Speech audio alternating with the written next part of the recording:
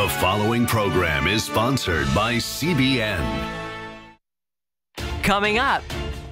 Science is settled. Or is it? These are people that really don't know what they're talking about. What real climate scientists say about the so called experts. The scientists involved, I think, are twisting the truth. The multi trillion dollar Green New Deal. It would not have a measurable impact on future temperatures. And the real future of our planet. We don't understand natural causes of climate change. On today's 700 Club.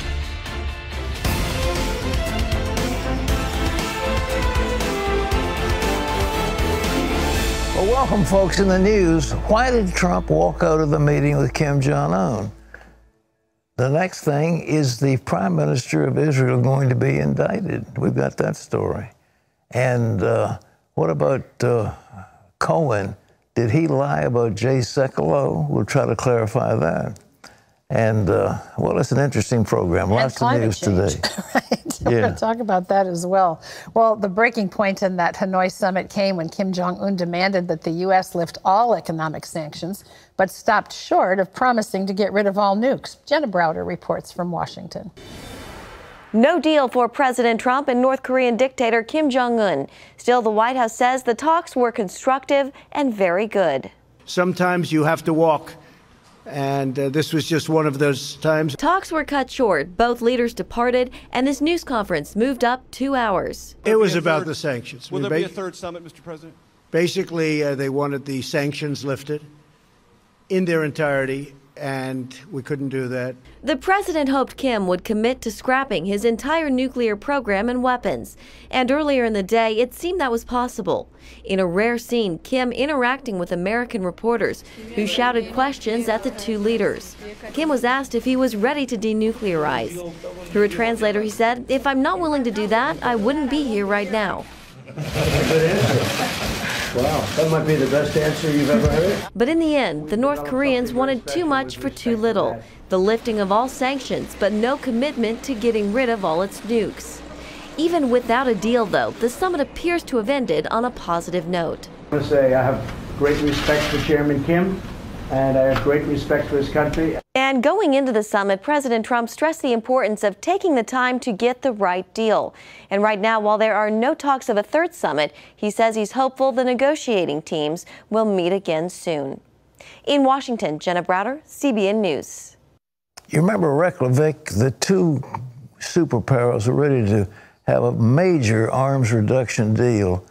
And President Ronald Reagan didn't want to give up what was called Star Wars.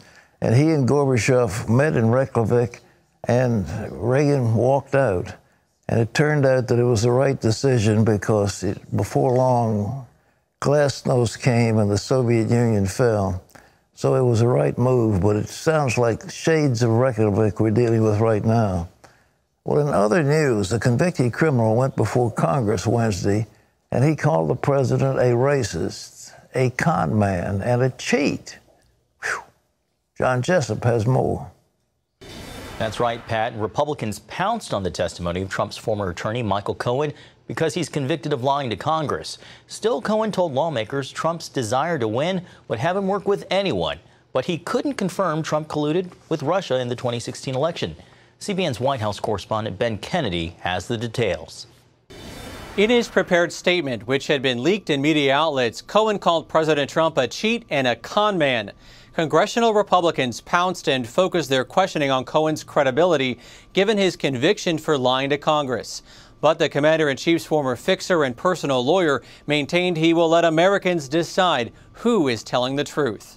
I am here under oath to correct the record Michael Cohen's explosive testimony clearly showed intent to damage his former boss, President Trump. I am ashamed because I know what Mr. Trump is. He is a racist, he is a con man, and he is a cheat. The former fixer accused the commander in chief of criminal conduct while in office and disclosed a reimbursement check from then President Trump Cohen claimed was for hush money payments to porn star Stormy Daniels. He asked me to pay off an adult film star with whom he had an affair and to lie about it to his wife, which I did. And lying to the First Lady is one of my biggest regrets. And a major accusation that the president had prior knowledge of the 2016 WikiLeaks email dump that hurt Hillary Clinton's presidential campaign. Cohen stopped short connecting Trump to Russia collusion. Questions have been raised about whether I know of direct evidence that Mr. Trump or his campaign colluded with Russia. I do not. On Faith Nation, CBN's chief political analyst David Brody said Cohen's remarks contradict emails and phone calls he's received from Cohen over the years. He's brass knuckles. He is the fixer. I've known him for eight years probably dozens and dozens of emails throughout those times. Uh, I want to read you one that he sent me. This was a quote about Donald Trump when I was asking him about his character. And this is what he said, quote, I believe that Donald Trump might possibly be mentally and emotionally the strongest human being I've ever met. The level of hatred by detractors, media pundits, and others would totally overwhelm and cripple others, not him. His convictions are so steadfast and purposeful that he dismisses the negativity so that he can create positive results for all Americans and deliver on his mantra to make America great again. And so, look, this is Michael Cohen in an email to me on August 28, 2000. It's a here it is. endorsement. Yeah, in 2017. This was not eight years ago. This was just recently, and now he's singing a different tune because he's going to prison. Republicans pointed at Cohen's own past to punch holes in his testimony. Cohen faces three years in prison after pleading guilty to breaking campaign finance laws and for previously lying to Congress. First announced witness for the 116th Congress is a guy who is going to prison in two months for lying to Congress. Now, President Trump fired back from Vietnam. But I think having a fake hearing like that and having it in the middle of this very important summit is really a terrible thing. Cohen said he never asked for a pardon from President Trump and would not accept one if offered. Ben Kennedy, CBN News, Washington. Thanks, Ben. Uh, Pat, explosive testimony, but people on the right and the left both say not much new out of his testimony. I think so, but you know the thing, he, he mentioned uh, Jay Sekulow, and that Jay had uh, uh, gotten Trump to uh, tone down some of the rhetoric he was making in some statement. And Jay just, uh, you know, told me over the phone, he also told the New York Times that that was an absolute lie. So uh, you're looking at somebody who, who I, I, know personally, and this was one more example of this man uh, not telling the truth. And David Brody pointed it out. It's not, not a good thing. Well, uh, our friend Bibi Netanyahu is in the crosshairs over in uh, Israel, and let's, let's go back to John for that. That's right, Pat. Israel's Prime Minister Benjamin Netanyahu may be slapped with multiple indictments. The Attorney General is expected to make an announcement today whether to proceed on charges related to three ongoing investigations. In the most serious case, Netanyahu is accused of firing the director of Israel's communications ministry in exchange for favorable coverage on a top news site. This comes as Netanyahu is in a political fight facing elections in April. Currently, the polls are so close that if his Likud party loses only a few seats, it could turn the tide of the election against him. Well, for more on this, let's go back over to Pat. Now, this is such an important story that I wanted to make sure that we got Chris Mitchell in on it. Joining us now from Jerusalem is our Middle East Bureau, Chris Mitchell. Chris, uh, tell me what this means for the uh, Netanyahu's political future. Well, he's in for the political fight of his life, uh, Pat. I talked to a major pollster not too long ago. He said uh, the battle is on, and that was when the Blue and White Party was formed just a few days ago by uh, retired General Benny Gantz and another Israeli politician, Yair Lapid. And right there, they actually had more votes than Netanyahu's Likud party. And it all comes down to the numbers, Pat. At that time, it was 36 to 29 uh, for the Blue and White to Likud. Now, if the indictments come out, a recent poll said it would be 44 to 25. And what this does, if the indictments do come out, and we're expecting it probably any any hour today, it will shift the political landscape to the left. And it might be that if the election results as it is today in the recent polls, uh, Netanyahu would not be able to form a government, and it may be up to the blue and white party uh, and retired General Benny Gantz, who you interviewed uh, a little over uh, 12 years ago on the uh, on the Israeli uh, border up That's in right. Lebanon after the 2006 yeah, Second I, Lebanon War. I consider Benny a, a good friend. We, we, we, we, he was a brigadier general. He was in charge of the Northern Command. Now he's a, a retired uh, chief of staff. Uh, look, uh, why do the Israelis want to uh, consume their leaders? Well, what goes on in their minds on a thing like this? Uh, it's a good question, Pat. And I think a lot of people over here think that Israel has its own version of the deep state. You could look at the left, you could look at the media and the police, or maybe the Justice Department, trying to unseat an elected uh, official right now. Uh, it remains to be seen if Netanyahu doesn't win, if there's any other leader of his stature to be able to, uh, per, you know, be on the world stage. For example, just uh, two days, just yesterday, he was up in Moscow negotiating with Vladimir Putin about uh, the ability of Israel to push back Iran's presence, military presence inside Syria. So uh, it seems to be a coordinated effort, according to some people here, of Israel's deep state trying to undermine uh, Netanyahu. It's really something they've been trying to do for years. We'll see what happens uh, with these possible indictments and what impact it's going to have on the elections uh, on April 9th. Chris, thank you so much. And I'm sad because uh, Bibi's a dear friend. Well, of course, Benny Gantz I consider a friend too. It's been a few years, but we traveled together uh, up into that uh, territory. Uh, we, we each were flying helicopters and we went down to the Hula Valley and we had some uh, uh, interesting times together. So Benny's a good guy, but I don't understand. I, am a close friend of, of Bibi Netanyahu. I, I, met him years after his brother was killed in that uh, Entebbe raid, and uh, uh, you know he was a war hero, and, and Bibi was then studying in the United States. But in any event, uh, I'm saddened to see this so-called deep state trying to take out uh, important figures in the government. Well, let's talk about climate change. Is it a fraud or is it for real? Terry. Well, coming up, one of the so called climate deniers speaks out. What's ironic is that those of us who are skeptical and outspoken about climate change, for instance, myself, John Christy, uh, MIT, Dick Lindzen, we are more credentialed than most of the alarmists you will find in the media being quoted today. Hear the real deal behind the hype from one of America's top climate scientists. It's coming up after this.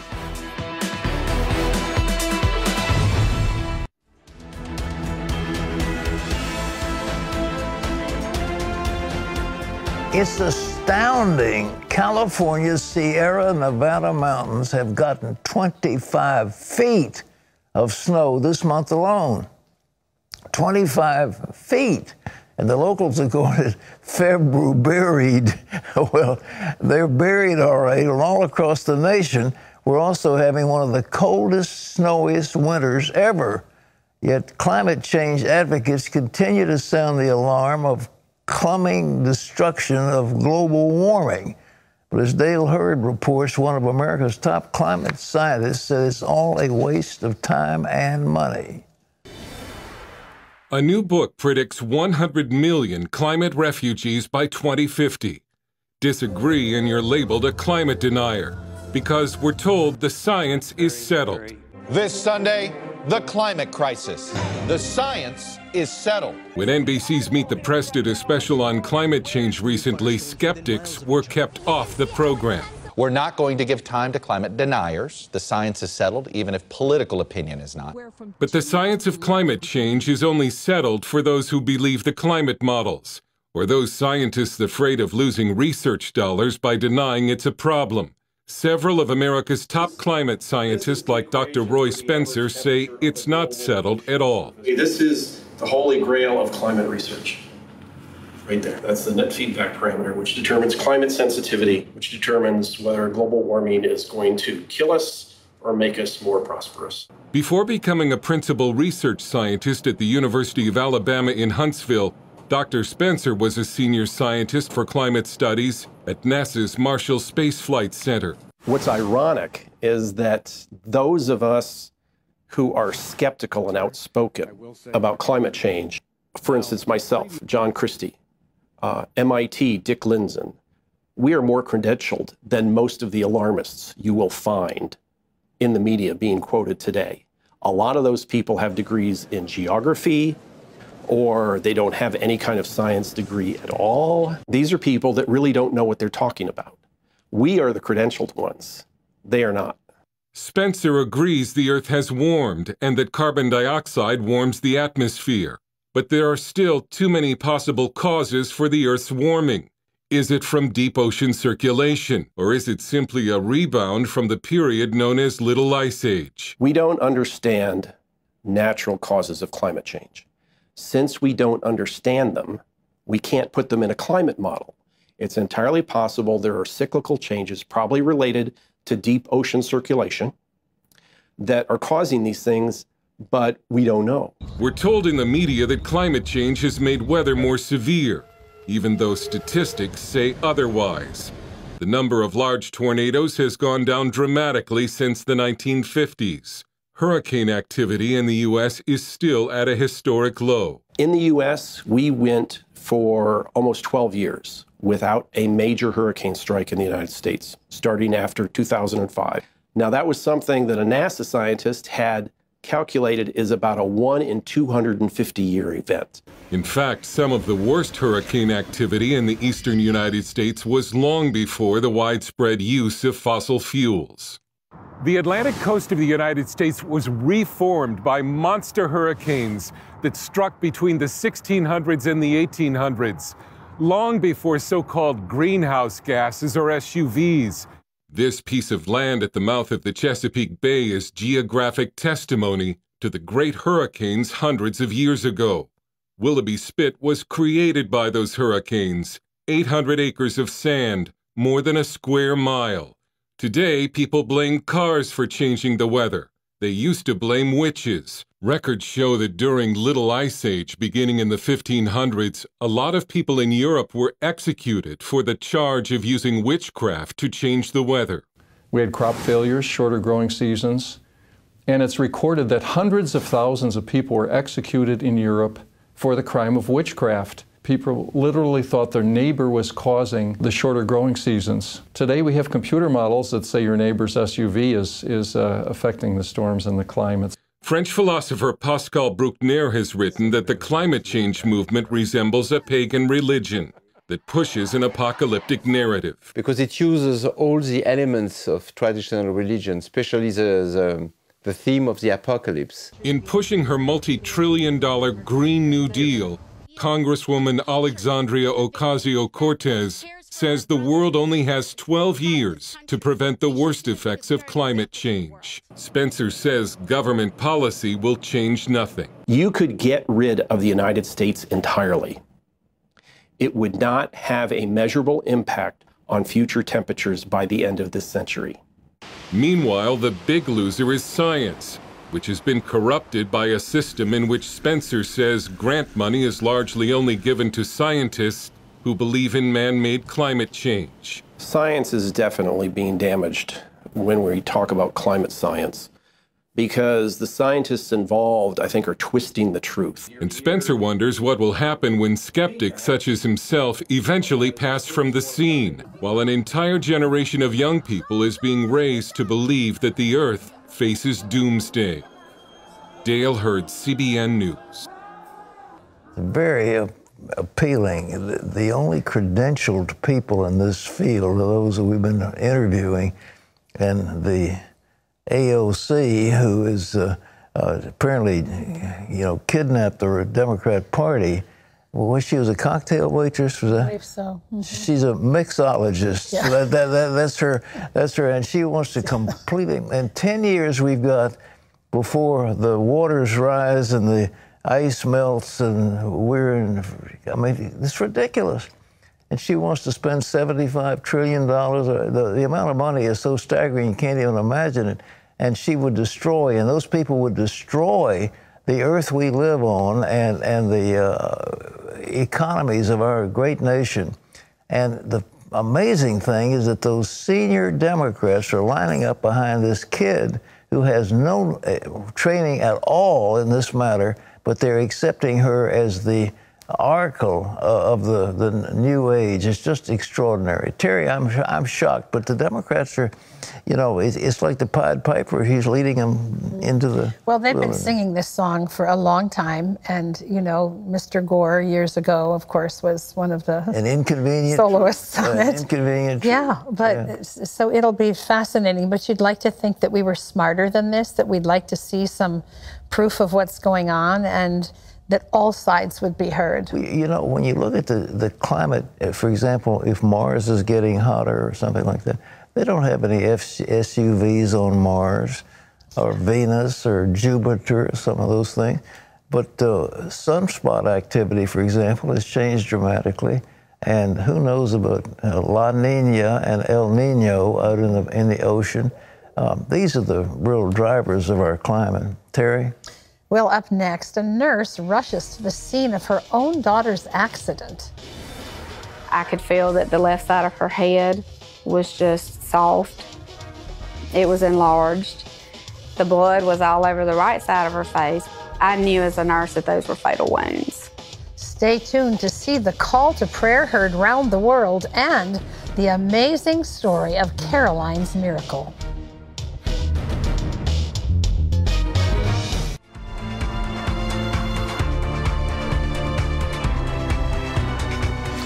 Leslie Massey is a registered nurse, and when she received the call that her daughter had been in an accident, she rushed to the scene.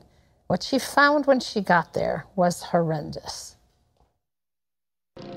In September of 2016, Caroline Massey and her best friend Casey were enjoying a ride on Caroline's four wheeler. A car was approaching from behind, so Casey tried to turn left to get out of the way. They missed the road and hit a utility pole.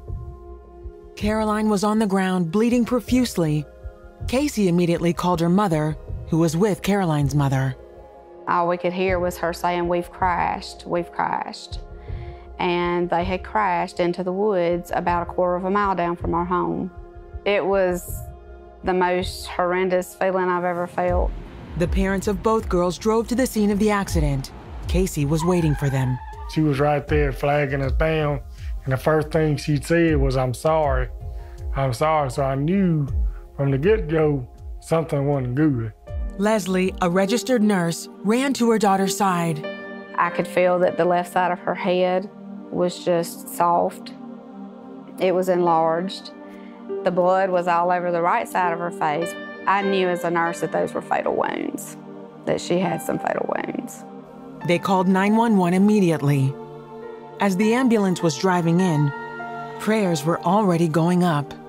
You could hear Casey in the background praying as loud as she could pray. She that's all I could hear was that and blocked everything else out and just, you know, attended to Caroline. As Caroline was loaded into the ambulance and taken to a medical airlift, the families continued to pray. We just started praying, Dear Lord, you are the great physician. You're going to have to take this. There's nothing we can do. But we know that you can. And we know that whatever your will is, you know, we, we have to accept it and take care of the girls and just have your way.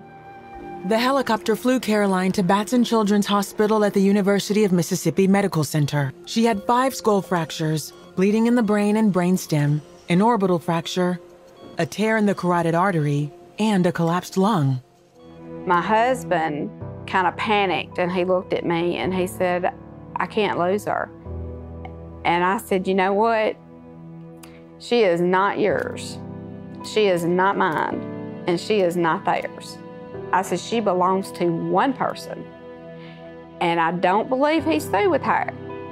But if he is, then that is his to take. I said, But she doesn't belong to us. Never did. Caroline survived the night, but she remained in critical condition. They said she could be paralyzed or in a vegetative state for weeks or even years.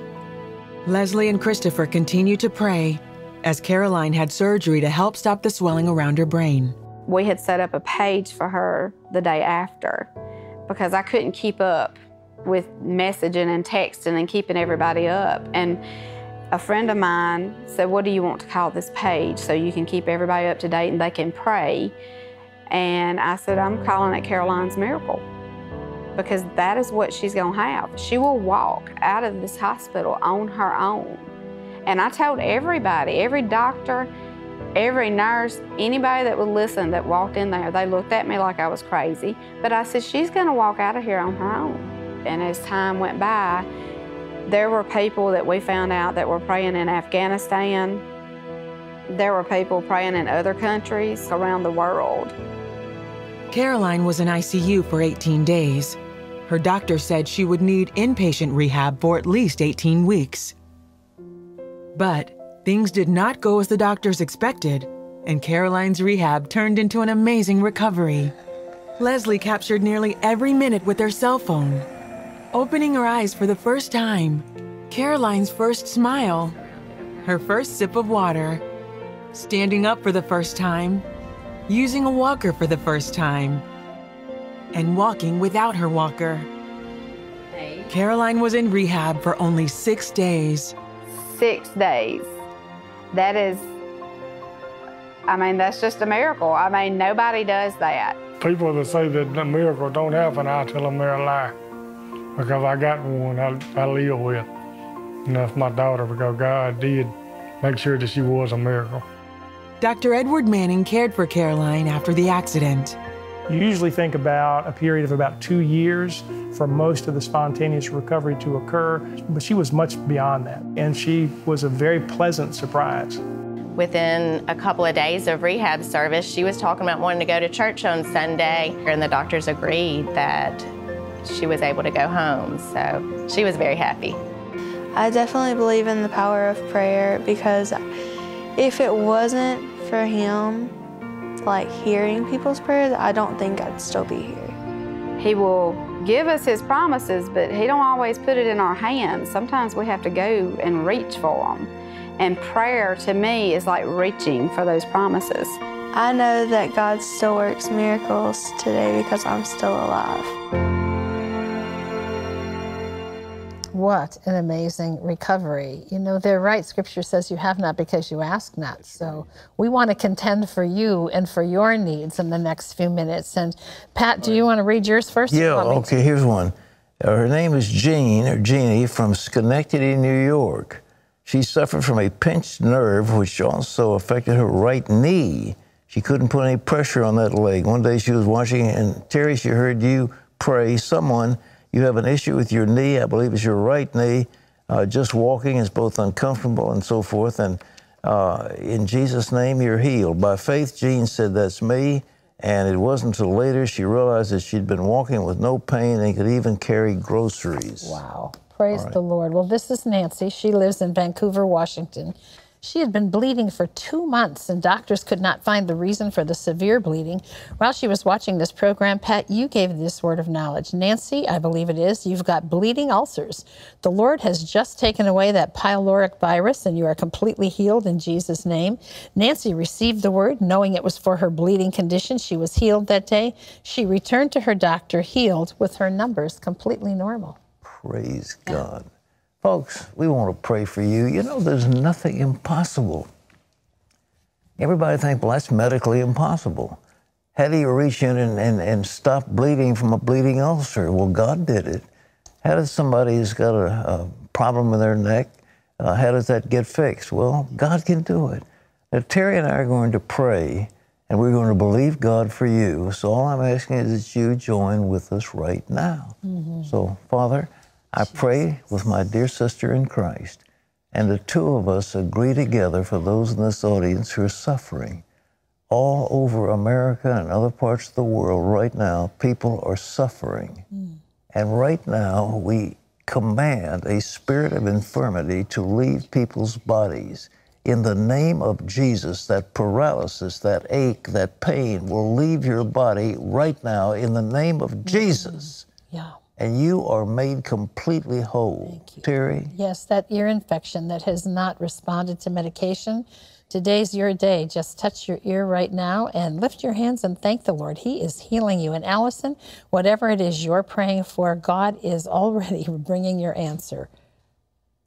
Uh, Tom, I believe it is, you, you've got swollen gums and bleeding gums and God right now is reaching out and, and, and really cleaning the roots of your teeth. It's an amazing procedure. It's like the Lord's doing dental work on you, and those teeth are going to be set in as they should be.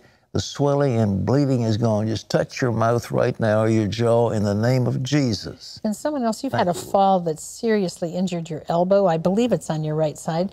Um, and God is just putting that all back into place again. You're going to have full mobility. Thank you, Lord. In Jesus' name, amen. amen. Now, wherever you are, please call us and let us know what's happened. It's 1 800 700 7000. It's not hard, it's a toll free number. If you want further prayer, we're here for you.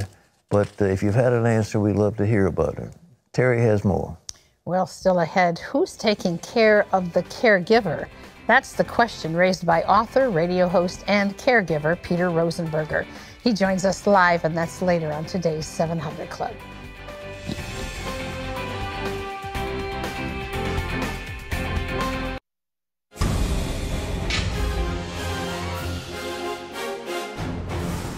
Welcome to Washington for CBN Newsbreak. A coalition of ministries is joining forces for a prayer movement at nearly 5,000 college campuses today. InterVarsity Christian Fellowship is heading up the effort called Collegiate Day of Prayer. The organization says the day is set aside to ask God to pour out His Spirit on colleges and seminaries across the country. Collegiate Day of Prayer has been happening on college campuses since 1823. The fifth annual All Africa Conference recently took place in Rwanda, established by Saddleback Church, led by Pastor Rick Warren. The conference continues an effort that began 15 years ago. That's when Rwanda became a nation of peace, modeling Warren's peace plan. Leaders from 12 American churches and 19 African nations, plus Costa Rica and Brazil, partnered to bring tools and training for church, health, and community transformation. 25 more nations are set to launch by the end of 2019. Well, you can always get the latest from CBN News by going to our website at cbnnews.com. Pat and Terry will be back with more of the 700 Club right after this.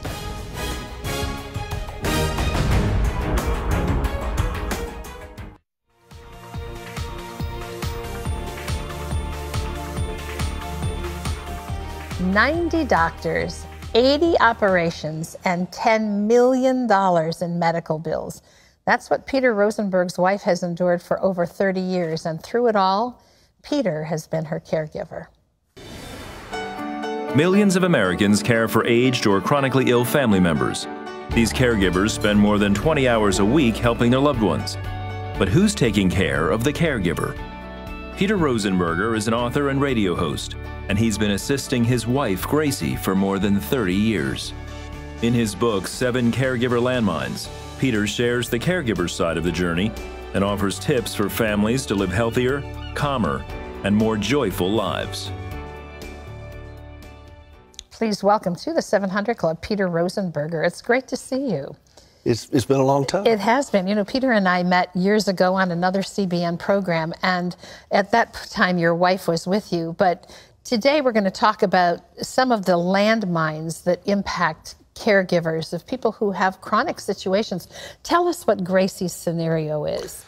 Well, she had a terrible wreck a long time ago, 35 years ago. Before you ever met before her? Before I met her. She'd had about 20 surgeries by the time I met her. Wow. And, uh, but she had not lost her legs yet. And um, that came much later, and the surgery just kept mounting and growing. And, and as you can see, she's you know, she's a babe. you know, I mean, hey, baby. Um, but she is, uh, uh, she lives with a, a lot of pain. Yes. Uh, one time, uh, one of the residents told her prosthetist later that he had counted, he stopped counting at 200 breaks. Wow. And so when you have that level of trauma, uh, it, it's not a one and done kind of. There's always something that evolves. Yeah along the journey. And then, uh, but if you notice that I'm the one that has white hair, and, and she does. She people say, "Well, it's so nice that you hang out with your father," and I'm like, "Really?" But but she is um, uh, she lives with a lot of pain. She's got a. I mean, you've met her. She's got a great spunky attitude. Oh, she does. Thank you. However, yeah. she is not. Um, uh, every day is a challenge for her. She's not immune to all the things no. that befall those who are in such chronic situations. Talk about what happened three years into your marriage, because I know you knew she had the accident and she'd had some surgeries, but you had no idea. Oh no, it it just kept uh, declining and spiraling, and it was just surgery after surgery, and I. Uh, I found myself really faltering and, and going. I, I, I was a believer going into this, yeah. but I really wasn't. If in, in, and I don't mean that in not saved. It's just that uh, Not God, walking where are yes, you? This? exactly. You know, and, and I, I went into a dark place for a long time. And I, I, tell people I'm the crash test dummy of caregivers. If you could fail at it, I fail. I have forgotten more mistakes than most people will ever make. And, and caregivers are notorious for beating themselves up for their job performance. And I say, well, you know, look, if you're going to judge yourself by your job performance, be fair. Let's ju- judge ourselves also by our job attendance record, Mhm. which is flawless. Wow, We keep showing up, however bloody we are, or swearing under our breath, or anything else. And so I was, I, I saw myself faltering, and nobody really knew what to say to me. And we we look like we got it all together. We're high functioning multitaskers, mm-hmm. and and yet we're not. We're, we're inwardly we're, we're crashing.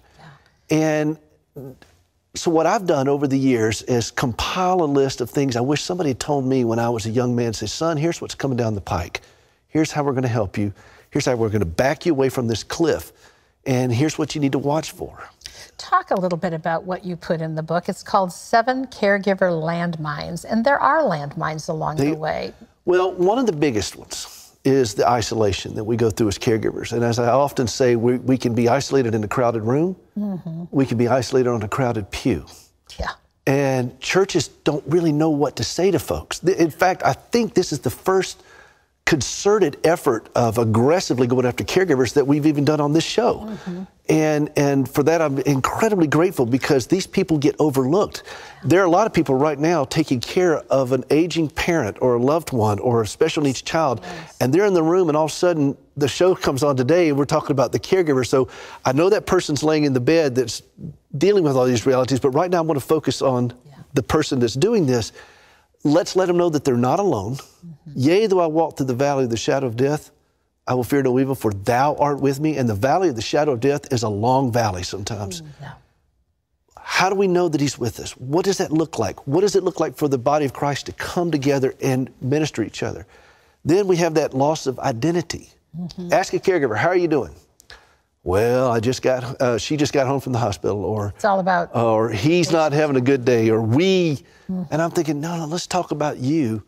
And that's when the tears. Well, you come. actually said in the book that hardly anybody ever asks you how you're doing. Most of them want to know how Gracie's doing, They they do, which is the logical question. But it, still, it, it is the conventional question. conventional and and you were so gracious when you when I first walked in here, you said, "How are you doing?" and, I was so grateful for that. I read the book. You know, well, thank you very much.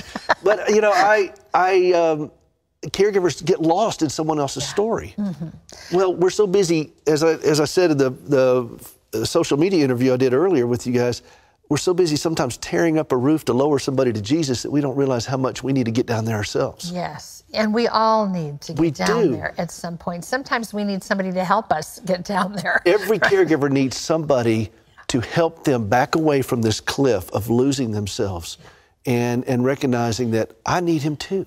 Peter, do you think that sometimes, because of the seriousness of the person who's contending with whatever the issues are, that the caregiver almost feels guilty They acknowledging? That's, that's one of the uh, landmines Yeah. is the guilt. But, you know, if I get a splinter in my foot, uh, I need to get I need to get that treated. before it gets infected. But, but why right? should I? My wife doesn't have any feet. How can I call, talk? Because these are the only feet she can count on. Mm-hmm. And so I need to take care of them. And that's the concept I'm trying to get across to caregivers.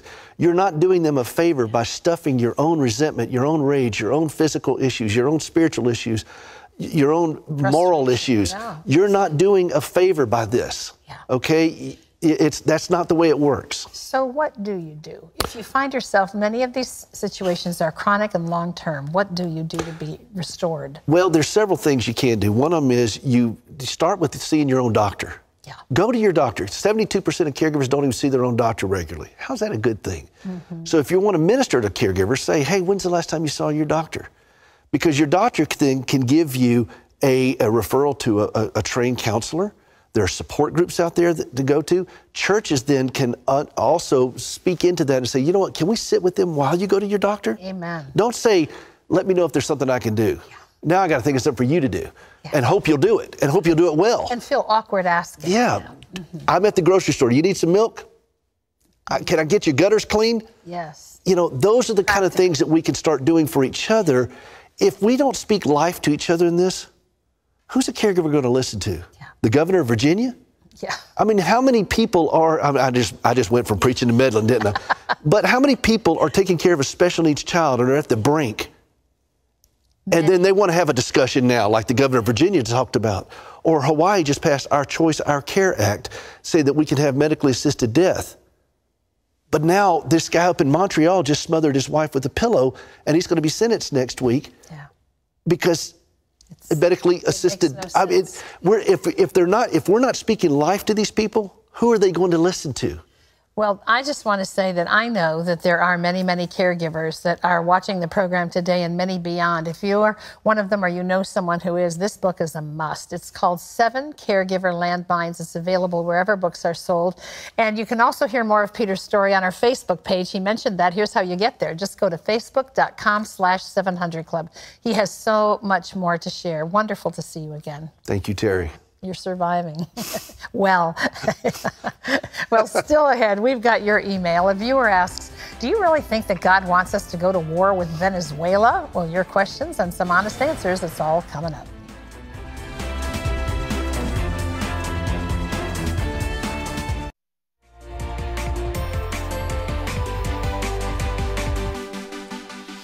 When Hurricane Florence hit her hometown, Glenda Holmes says the damage was devastating. People didn't know where to turn for help, but Glenda knew exactly who to call. Glenda and Donnie Holmes are longtime supporters of CBN and Operation Blessing. After years of giving, they never imagined one day they'd reach out to Operation Blessing for help. Then, Hurricane Florence hit. It was devastating. People couldn't get what they needed, and they had nowhere to turn to. That's when Glenda put in a call to CBN. I'd been a longtime contributor, and I've never asked for anything. This is a rural community, and a lot of people hadn't recovered from the previous hurricane. But these people need it. They really, really need help. And I wanted to do anything I could to help them. Operation Blessing immediately sent truckloads of food and emergency supplies to Gateway Community Church. The community needed baby supplies and diapers and really needed cleaning supplies because the people who could get back in their houses, there were no cleaning supplies to go in and to even start to rebuild. And that's what you guys sent, and they were very appreciative. Glenda knew she could count on CBN and Operation Blessing. It was nice to know that where I tithe my money to would be there when I needed them. And it made me feel good about continuing to support them. I called for help and they sent exactly what we asked for, and it felt really good that I was a small part of that. I want to thank the 700 Club and Gordon and Pat and Operation Blessing. Thank you so much for coming and helping out the community, and I will continue to support Operation Blessing as much as I can. And we're really, really grateful, and I know that the people in the Pender County are grateful as well. We're often the first in and we're often the last to leave. We believe in helping people, and Operation Blessing is one area that happens where people who are suffering are touched in accordance with the book of Isaiah. If you see the hungry, if you, you feed them, you see the naked, you clothe them, you see the homeless, you bring them into the home. And God says, I'm going to bless you beyond measure. So, look, I want to give you something the I wills of God. I, I, I, if you read the 91st Psalm, you'll find a time which says, Because He set His love upon me, here's what I'm going to do. I will, I will, I will, I will. And the, uh, the I wills of uh, God, I'm showing some people who've had dramatic healings, wonderful miracles, answers to prayer, and overcoming fear. We'll give this to you free when you join the 700 Club. And what does it take? It's so easy. It's 65 cents a day, $20 a month, and you could be a 700 Club member. And we welcome you to a family of thousands. So pick up the phone, call in. It's a toll free number and say, look, you can count on me. I want to help people in my community. I want to help people around the world. And through what you're doing, we can do just that. So now we've got some questions. We do indeed. This Let's is a viewer who says, Do you really think that God wants us to go to war with Venezuela? You don't speak for all Christians, and killing other people won't solve this problem. Uh, do you think if there's a rapist running loose in your community who rapes and kidnaps little children, you think we should have police? Do you think the police ought to be armed, and if they have to, shoot those people? Or we just let them go free? You know, that, that was in a, a, a political campaign uh, when uh, I think Michael Dukakis was asked, well, if somebody's raping your sister, what would you do? Would you go in there and, and try to do something? The Bible says the people who are in the armed forces are ministers of God to bring vengeance on the malefactors, on the kidnappers, on the rapists. Now, that there's a country that's under the control of a vicious dictator. How did those dictators get there? They got there through force of arms. They overthrew the established order and took over, and then Maduro is a successor to that regime. The people by the millions are suffering. Don't you think somebody should go in there and help them? Well, I certainly do. I certainly do. Do I think we ought to go to war? I'd rather not. What I suggested the other day is mass the forces we've got outside. Show those helicopter gunships. Just turn loose a few of those Hellfire missiles and let them hit some targets just inside Venezuela and let those troops know what's going to come. And I think they'll surrender. And that's what you, you need to do overwhelming force. But do, do I think we should go to, quote, war with Venezuela? I think we should get a multinational armed uh, contingent to take the force that's needed to set those people free, just like in your city, you'd want police to set a uh, rape victim free or a kidnapped soul free. All right. Okay, this is from Victoria, who says, What are your opinions on tattoos? Uh, it's not my opinion what the Bible says. You know, it's it's it's uh, you should not have markings on your body. Especially the priests couldn't do that. Anybody, it was it was a sin, and I, I think God's our bodies the temples of the Holy Spirit, and this is a heathen practice. Tattoos. I mean, they they they did tattoos, and it was a symbol of uh, uh, well various types of heathen practices. I, I think it's a mistake, and and I know that people think, oh, look, my tats, aren't they beautiful? I think they're hideous. Okay. Okay, that's his opinion. All right. there you go. Okay, this is Cindy who says several of my friends take yoga classes to help them relax and keep in shape. I've hesitated to join a yoga class because I've learned that it is based on Hinduism and the yoga poses are actually bows to the Hindu gods. Is this true? I really need to start an exercise program, but do not get want to get involved with Hinduism. You've hit it right on the money. Uh, I, I, think there's a lot of yoga that has to do with stretching. There's nothing wrong with stretching. There's nothing wrong with being uh, limber. But you know, a guy that they brought to me, his name was uh, Master Adam or something, and he came with all that paraphernalia. And I thought, you know, I don't need this. This guy had unbelievable strength. He could do stuff you wouldn't believe. But, but, but, I didn't want to take on those practices. And yes, you have a mantra. You're you're speaking. You know, you're speaking this mantra, and and you're calling on Hindu gods. You, you don't understand what you're saying, but they're doing that. And we don't want to get into something like that. Stretching is cool. It's good for you. You stretch before you exercise, you get yourself warmed up, and then you do some stretching. Nothing wrong with that. All right. Yeah, this is Eli who says, My wife left our marriage over five years ago. She has a man she calls her husband now. She said she's never coming back. I pray for her and have forgiven her. What is my biblical path here? Well, your biblical path is, brother, you are free.